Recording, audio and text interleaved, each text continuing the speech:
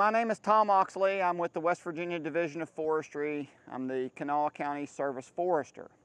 Uh, my job entails uh, three main pieces of the division's work. I handle fire, all wildland fire in Kanawha County. I handle logging and inspection of log jobs around the county and I do landowner assistance and assist the landowners of the state of West Virginia and Kanawha County in particular in helping them manage their properties, their, particularly their trees. Uh, today, however, one of the other things that we do is Project Learning Tree. We're going to be doing a lesson, lesson number 81, out of the pre-K through 8 Environmental Education Activity Guide and it's called Living with Fire. One of my jobs is fighting wildland fire, so it goes without saying. Here we have the fire triangle. The fire triangle is obviously a triangle made up of three sides, heat, oxygen, and fuel. You have to have all three of these elements in place at the same time in order to have fire. If we, in fighting fire, whenever I'm out in the woods. One of my goals is to figure out not only what kind of terrain there is, the weather, uh, how many people I have, but also what conditions or what opportunities are offered to me to take care of at least one side of this triangle to eliminate the fire. In other words, be able to control it and eventually put it out. So, heat, oxygen, and fuel in particular, most of the time, I deal with eliminating the fuel that the fire wants to consume. So if we eliminate, as you can see on here, you can see that there is fire. And if I pull away the fuel, take the fuel away, no longer is the fire there. This is just a picture, but the red dot that was on there shows up. There you can see it. So if we take away the fuel, we take away the ability for the fire to continue to burn, okay? Any suppression activity that we use has to be able to eliminate one or more of those sides of the triangle in order to take care of and suppress the fire, okay? Now, structure firefighters deal with a tetrahedron, which is four-sided, okay? Theirs also adds in combustion, chemical reaction, okay? So for us, it's a little more simple. We either eliminate the oxygen, no fire, eliminate the heat, no fire, or we eliminate the fuel, or multiple pieces, okay? So what we're going to discuss today are some of the things that eliminate a side of the triangle okay?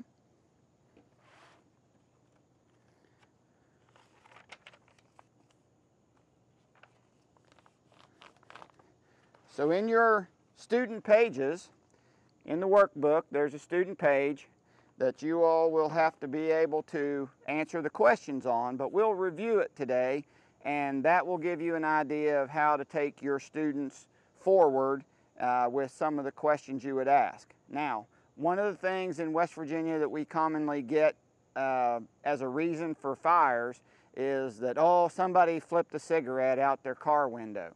Well, the U.S. Forest Service has spent a lot of money on studies and cigarettes are 0.001% of all fire started in West Virginia because it takes four or five different parameters all happening at the same time for that to happen. So we don't get that in West Virginia. One, our relative humidities are always too high. Okay, they're in the multiple digits, not in single digits. So without that, at least that particular piece being in place, we don't get cigarette fires. We get people, we get people.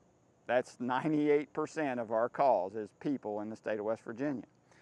So on the fire triangle, it says, fire needs the heat, oxygen, and fuel in order to exist.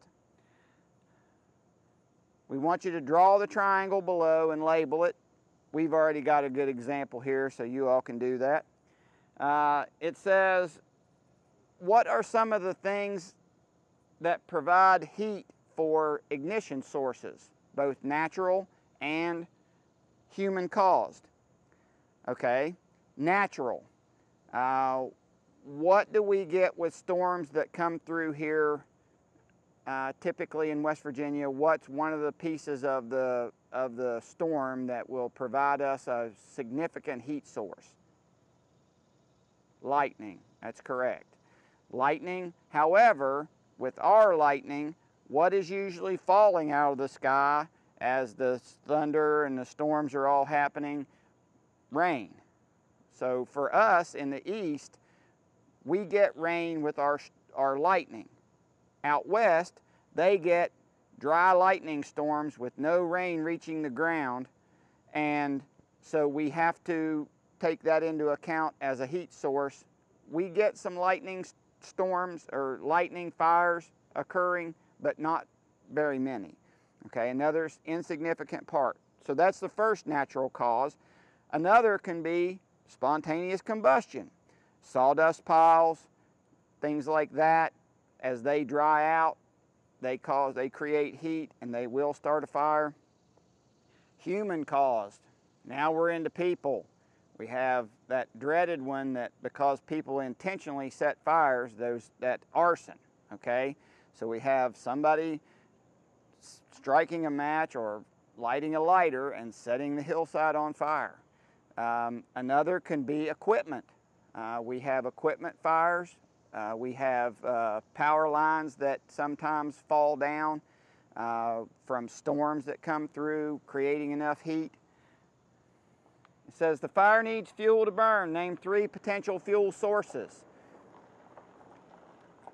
So those fuel sources obviously are going to be the leaves that fall off the trees, the dead and dying brush, and man-made materials.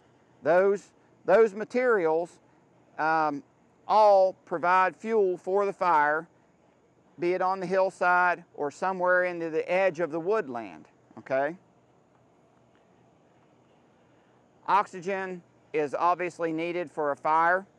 What, what are some of the ways we eliminate the oxygen from the fire triangle?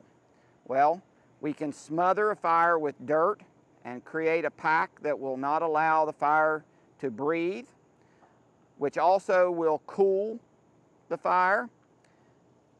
That takes care of another side, the heat, and then obviously the moisture that we get from rain will cool this side of the fire triangle.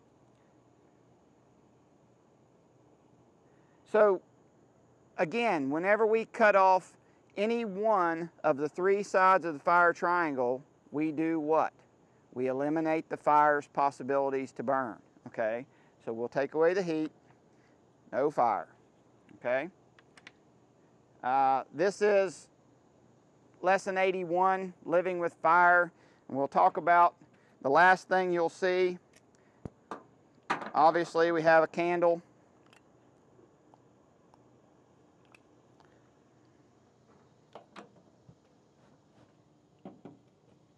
We have a candle burning. It's consuming oxygen out of the air.